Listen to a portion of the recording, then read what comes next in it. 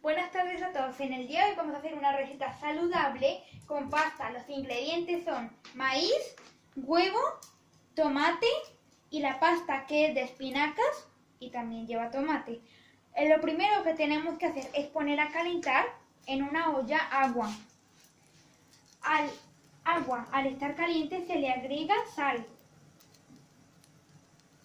Y después, este, esto, con, este bol con pasta.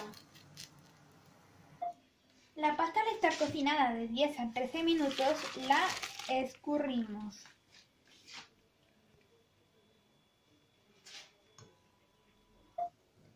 Bueno, el paso a seguir es mezclar todos los ingredientes.